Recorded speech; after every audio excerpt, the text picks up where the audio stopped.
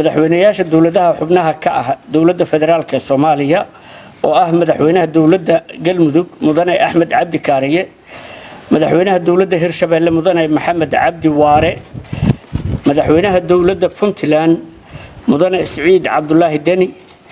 madaxweynaha dowladda koonfur galbeed mudane cabdicasiis xasan maxamed lafta gareen iyo madaxweynaha dowladda jubbaland mudane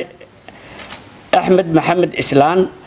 ayaa waxay shir madaxeed wada tashi ah isugu yimaadeen magaalo madaxda galmudug ee dhuusamareeb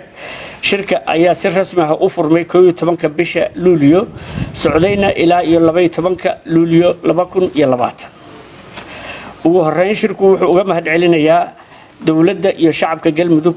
soo dhoweynta iyo martigelinta shirka wadatashiga dowladaha xubnaha ka ah dowladda federaalka. Madaxda dowladaha ayaa ka wada hadlay xoojinta iskaashiga dowladaha xubnaha ka ah dowladda federaalka ee dhinacyada siyaasadda amniga dhaqaalaha iyo xoojinta geedi socodka dhismaha dowladnimada soomaaliya.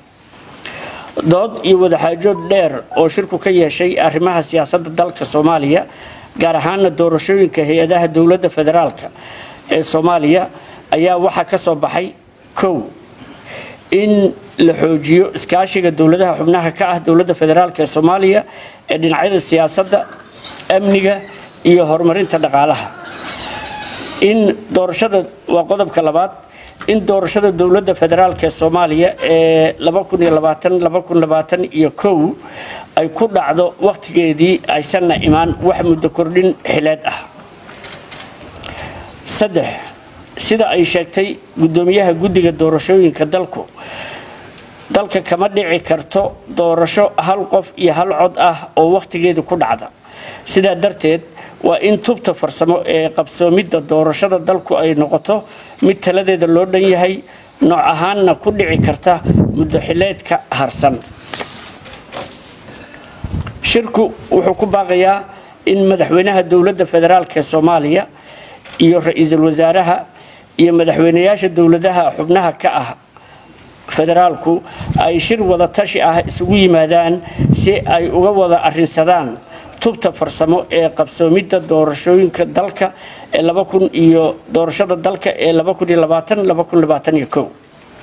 shirku wuxuu ku baaqayaa in shirka wada tashiga dowladda federaalka iyo dowladaha xubnaha ka ah uu ka dhaco magaalada dhuusamareeb ee caasimadda galmudug. Shirku wuxuu u mahad celinayaa taageerada beesha caalamku u mahad